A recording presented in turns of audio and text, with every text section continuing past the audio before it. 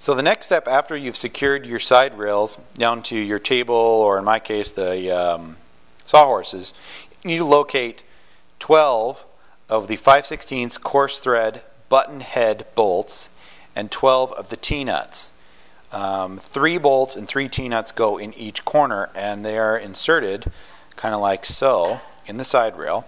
And then make sure the T-nut goes on the bolt like that, not like that. You can see the, the raised portion. The raised portion needs to go like so.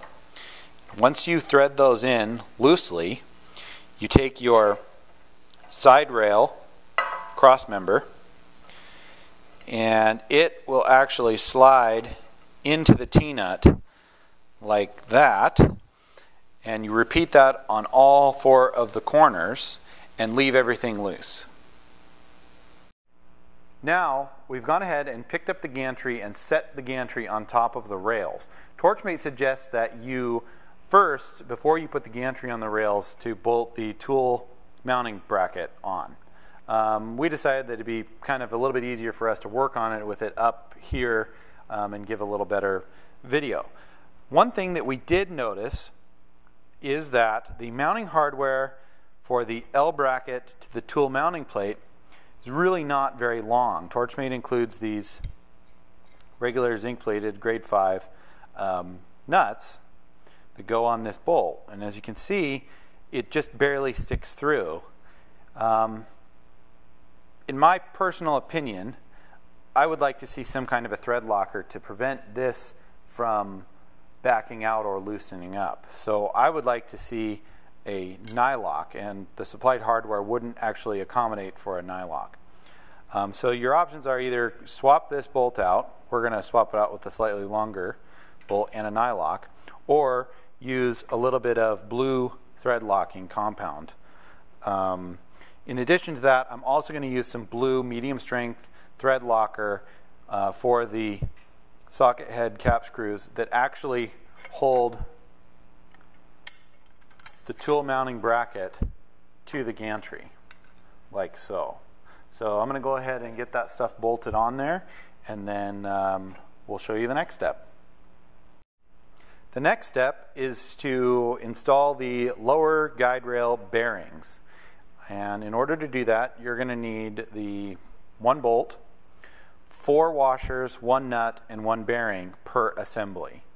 And they kind of go together like this. You put washer on there, start, start the bolt through, then put two washers to be used as spacers, then the bearing, then another washer. You're going to have to do this kind of by braille because it's fairly difficult to, can't really get in there that easily. And then you put the nut on, and this is probably the hardest part of it.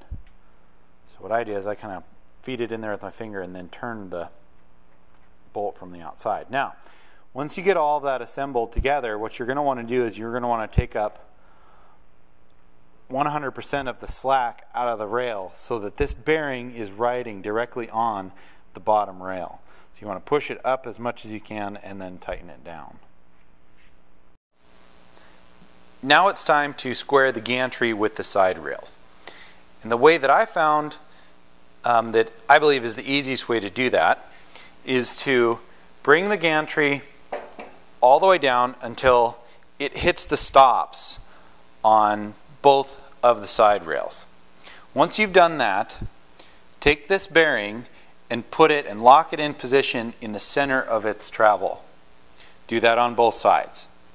Then, when the gantry is still against its stops and these bearings are locked in, take both rails and slide them together as much as you can until there is zero clearance between the rail and that bearing. Once there's zero clearance between the rail and the inside bearing, go ahead and lock down all of your T-bolts that you installed, T-nuts and bolts that you installed in step one. Once you've done that, slide the gantry all the way to the other end, put it up against both of its stops, and repeat the process. Once you've done that, make sure that the gantry then moves e smoothly and evenly across its full range of travel. Once it does that, go ahead, take all the slop out of the outside bearing, tighten it down, and you're good to move on. So now that the table and the gantry have all been squared, it's time to mount the uh, torch height adjuster.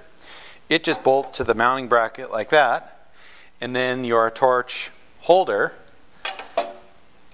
fastens to the height adjuster like that. What you're going to want to do is you're going to want to leave all these nuts and bolts loose so that we can then level the torch. So the next step is to secure the gantry to the side rails. Um, and as you can see, this is not lined up at all. So what you want to do is make sure that the bracket doesn't spin and then just turn the lead screw to get the threads and the holes to line up and then thread the, the bolts in and uh, repeat it on the other side. And this kind of, they self-center um, on each other tighten them up.